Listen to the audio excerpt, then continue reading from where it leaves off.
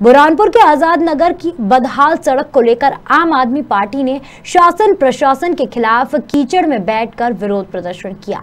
आम आदमी पार्टी के कार्यकर्ताओं का कहना है कि बदहाल सड़क को लेकर कई बार आवेदन दिया, लेकिन आज भी सड़क की हालत जो की त्यो बनी हुई है। मध्य प्रदेश में अगले साल होने वाले विधानसभा चुनाव को लेकर कांग्रेस, भाजपा सहित अब आम आदमी पार्टी ने अपनी तैयारी शुरू कर दी है, जिसके चलते सत्ता पक्ष को किसी भी मुद्दे पर घेरने में कोई कमी नहीं छोड़ रही है।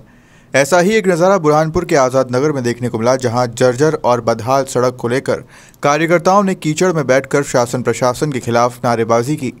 आप पार्टी के कार्यकर्ताओं का कहना है कि बदहाल सड़क वाहन चालकों को हमेशा दुर्घटना का भय बना रहता है। जिसके चलते कई बार प्रशासन को सड़क को दुरुस्त करने के लिए आवेदन दिया लेकिन सिर्फ़ आश्वासन के अलावा कुछ नहीं मिला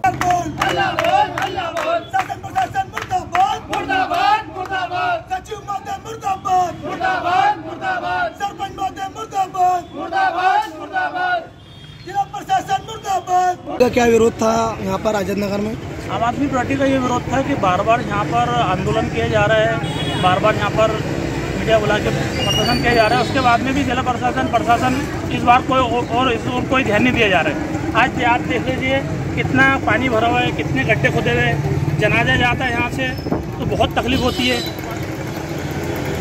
जनाजा जाता है तो बहुत तकलीफ़ होती है।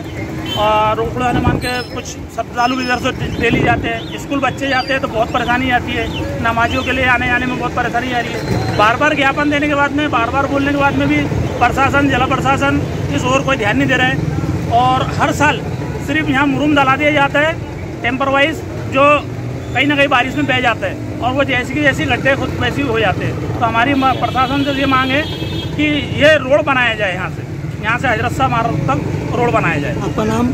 शरीफ जिला उपाध्यक्ष आम आदमी पार्टी। बुरहानपुर से रफीक अंसारी की रिपोर्ट।